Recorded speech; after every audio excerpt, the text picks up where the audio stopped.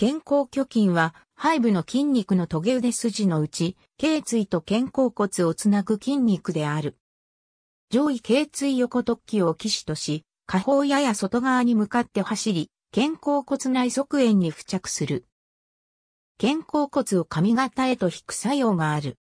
不良姿勢などによる肩こりでは、この筋肉にも不快感や重苦しさ、痛みを感じることがある。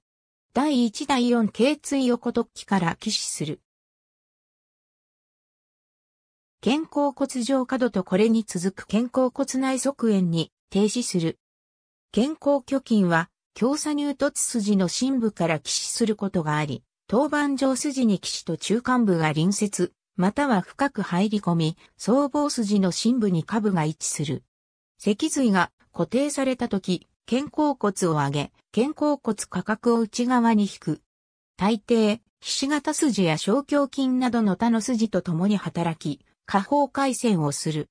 肩を一度に動かし居上や回線をするには頸椎を安定させ固定することが必要である。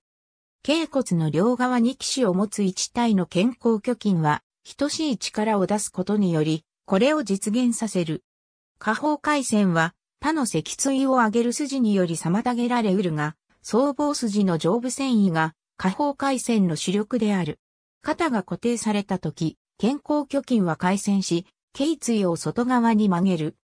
両側の肩が固定された時は、両側の肩甲虚筋は、頸椎が直立するように働く。